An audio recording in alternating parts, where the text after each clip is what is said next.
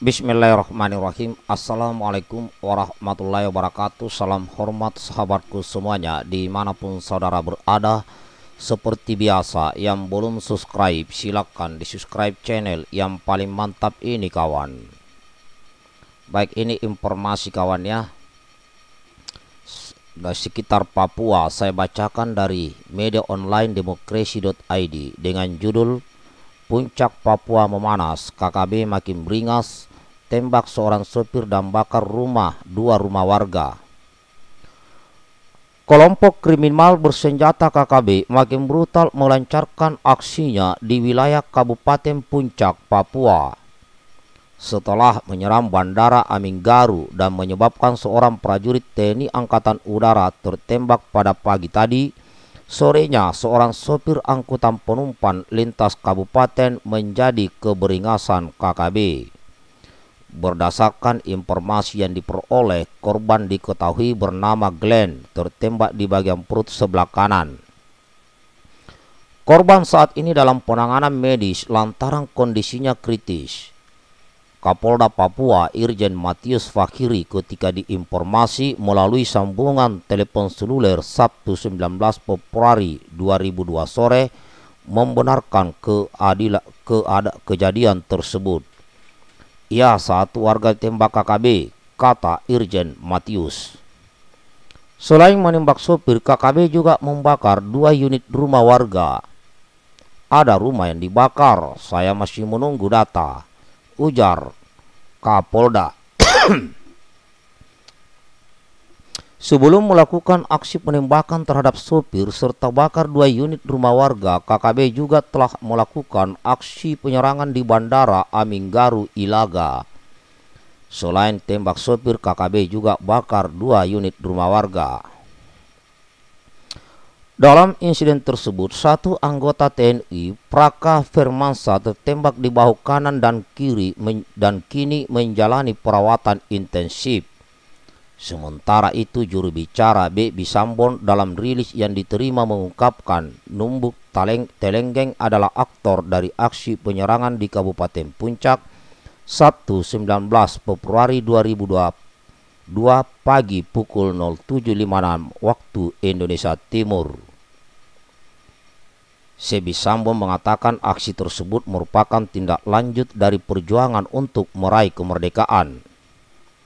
Ini bentuk kami untuk meminta aparat Indonesia angkat kaki dari negeri kami, ucapnya. Di samping itu, aksi penyerangan juga merupakan perintah dari pimpinan tertinggi TP MPB OPM, Maijen Lekagak Telenggen. Kami langsung dikomandoi pasukan besar dan kami juga akan terus melakukan aksi hingga Papua meraih kemerdekaan. Tegasnya. Ah.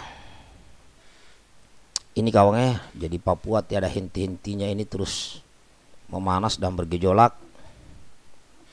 Maka saya katakan di sini perlunya ada tambahan pasukan baik TNI maupun Polri ya dengan tujuan untuk uh, menghambat ruang gerak ya membatasi ruang gerak mereka eh, KKB ini dan memang ini butuh biaya.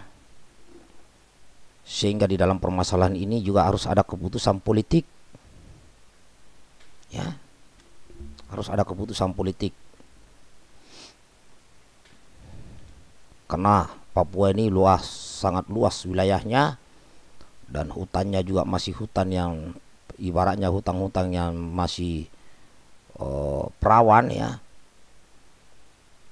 medannya juga di sana agak susah. Jadi kalau personil yang dikirim sedikit nah itu tidak bisa mengcover. Ya apalagi sampai sudah mengganggu ketertiban di sana. Rumah dibakar supir-supir apa dihantam ya. Nah ini inilah yang mengakibatkan ekonomi tidak bisa berjalan normal. Ya ada beberapa langkah yang harus di, di, dilakukan oleh pemerintah. Nah ini ini adalah pemikiran saya kawan. Langkah pertama adalah segera penambahan pasukan TNI Polri di sana. sehingga tidak eh, terus terjadi korban baik TNI Polri maupun warga karena mereka masih leluasa. Nah, biasanya itu tempat-tempat yang diganggu begitu adalah di mana di situ tidak ada aparat. Ya, itu yang pertama. Yang kedua, langkah-langkah politiknya adalah ajak putra-putra Papua, para elit politiknya, ya, untuk bersosialisasi terkait pentingnya bersatu membangun negeri ini. Itu dulu ya yang yang masih berpihak kepada NKRI. Karena jangan sampai yang tadinya berpihak kepada NKRI kemudian uh, berubah menjadi berpihak kepada KKB. Ya. Nah, tidak bisa juga lepas dari pendekatan secara ekonomi. Ya, tunjukkan ke depan di hadapan KKB bahwa siapa pun dari KKB yang menyerah diri kepada NKRI dan bergabung ke NKRI, maka hidupnya akan mendapat kehidupan yang layak, baik dari segi ekonomi, pendidikan, kesehatan. Tunjukkan, karena sudah tidak tidak sedikit KKB ini sudah menyerahkan diri. Ya, berikan berikan mereka kesempatan untuk bisa membangun ekonominya. Syukur-syukur anak-anak mereka dilibatkan di dalam kegiatan-kegiatan pertambangan. Nah, ini saya kira bisa paling tidak bisa uh, menjadi sok terapi atau contoh buat KKB yang masih di hutan ataupun yang ada di kota bahwa ternyata kalau bergabung ke NKRI kehidupan lebih baik daripada uh, terus uh, angkat senjata. Ya. Dan kemudian tambahan terakhir dekati tokoh-tokoh agama di sana.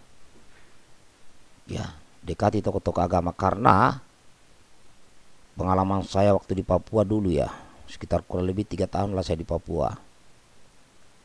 KKB ini juga sangat sangat mendengarkan nasihat daripada tokoh agama, khususnya para pendeta.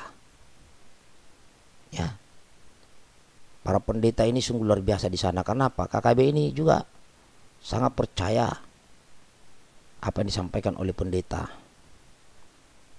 Dulu ada pengalaman ya, waktu saya masih aktif eh, di 754 Wadandian dulu. Jadi ada sebuah cerita di sana itu salah seorang anggota 754 itu pendekatan kepada pendeta. Akhirnya waktu itu kalau nggak salah dapat satu pucuk ya, pistol jadi ada yang menyerah itu sekitar tahun 2011 2012 lah itu.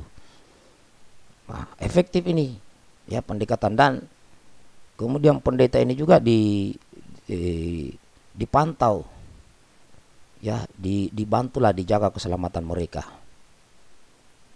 Nah, ini saja. Mudah-mudahan Satgas TNI Polri di sana selalu diberikan keselamatan dan diberkahi umur yang panjang.